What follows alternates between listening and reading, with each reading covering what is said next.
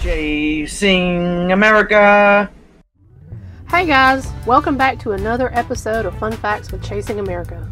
You know, no matter how you feel about the US government or which side of the aisle you lean to, you gotta admit, sometimes we hear about things they're spending our money on that'll get your blood boiling. Stupid crap the US government spends our tax money on.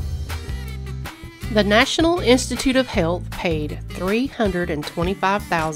$325,525 for a study that concluded that couples are happier when the woman calms down after a heated argument.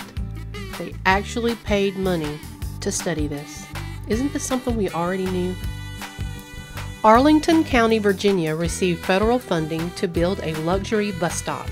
It came equipped with heated benches, Wi Fi, and a steel frame roof. But the roof doesn't even keep the rain or any other weather elements out, so if you're waiting on the bus in the rain, you're still going to get wet, you're still going to get cold. What was the cost to the taxpayers for this worthless, roofless bus stop? $1 million. The National Institutes of Health spent a chunk of our hard earned tax dollars to study the behavior of male prostitutes in Vietnam. What was the cost, you ask? 442,340 US tax dollars. I'm starting to see a pattern here, but once again, the National Institutes of Health was given a hefty sum to study how African men wash their genitals. Yep, you heard that right, genital washing. How much did this study pick the pocket of the American taxpayers? To the sum of $800,000.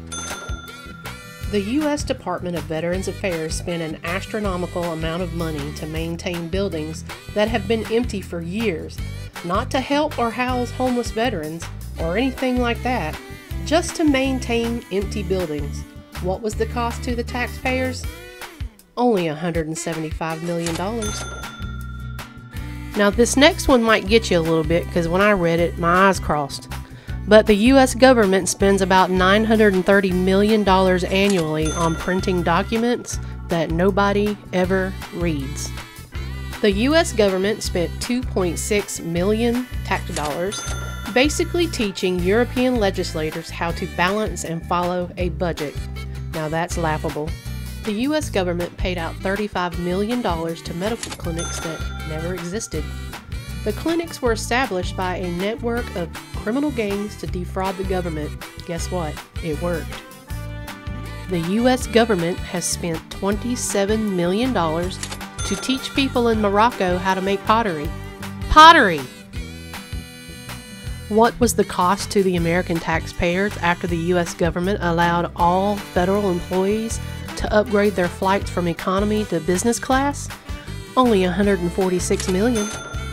The U.S. government spent 592,527 taxpayer dollars to study why chimpanzees throw their poop. Okay, I'm done. Now I gotta go take a blood pressure pill or maybe even fling some poop.